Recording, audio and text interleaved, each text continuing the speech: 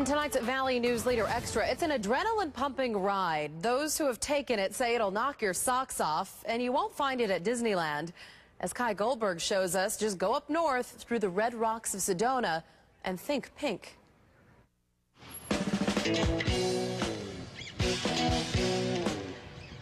They move all around the backcountry of Sedona, all along these red rocks, going up and down steep hills at impossible angles.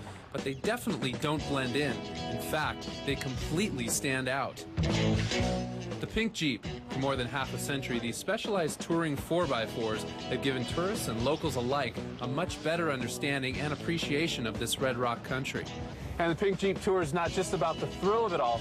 Most importantly, it's about conservation, education, and history. My guide for the day is Andrea Goldberg, no relation. She's from Argentina. She fell in Sedona during a vacation, and now she shares her vast knowledge of the area after going through her own rigorous training. Of Just being a guide, there's a tremendous amount of reading involved, um, training, being personable, learning about Native American cultures, learning about geology. The rocks are red is because uh, the water deposit iron and the iron just rusted, so it's iron oxide.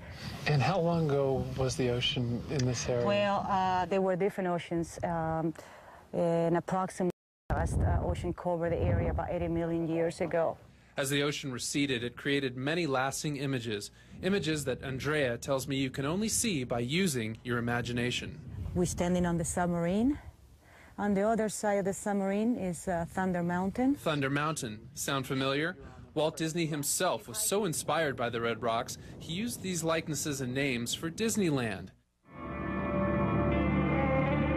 But it's the people who once ruled these rocks that keep Pink Jeep's clients amazed.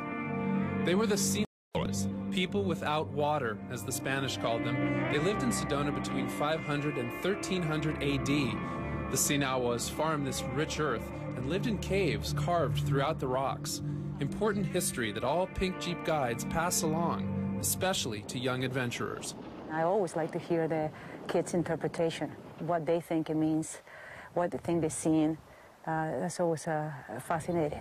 And although there are some who see these pink Jeeps as an eyesore to the backcountry, Pink Jeep and the Forest Service know their role is vital. We keep the trails in just a real smooth order for our own use, but then also we share all the trails with the general public out there.